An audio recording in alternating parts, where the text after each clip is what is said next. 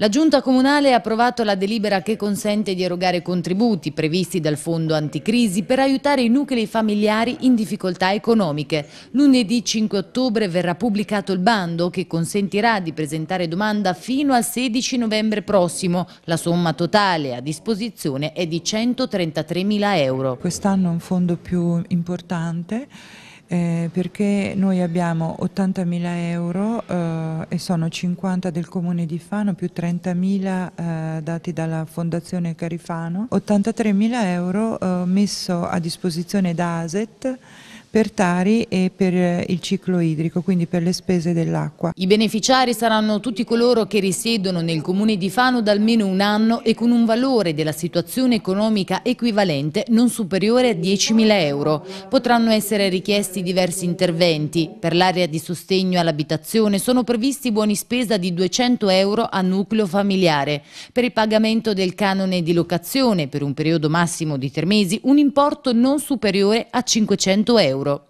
Per il pagamento delle utenze domestiche come luce e gas già scadute a partire da gennaio 2014 o comunque prossime alla scadenza è previsto un contributo fino ad un massimo di 150 euro. Sulle agevolazioni per bollette di acqua e rifiuti invece lo sgravio tariffario verrà calcolato sulla base di diverse fasce stabilite.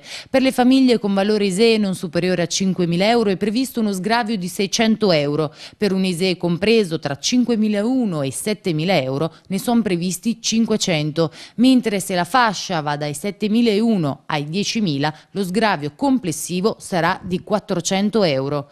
Ma nonostante gli indicatori parlino di una piccola ripresa in alcuni settori, ha detto l'assessore Bargnesi, si trascina ancora una situazione di disagio per molte persone. L'amministrazione assicura è attenta ai beni di prima necessità, alle politiche abitative e occupazionali, tant'è che in accordo con la Caritas verranno messi a disposizione dei locali a Sant'Arcangelo per la distribuzione di vestiti usati. Il Comune inoltre sta cercando appartamenti di pronta emergenza e quindi per aiutare chi subisce uno sfratto. Per questa emergenza si sta ristrutturando un locale di proprietà dell'ERAP che necessitava di interventi di manutenzione.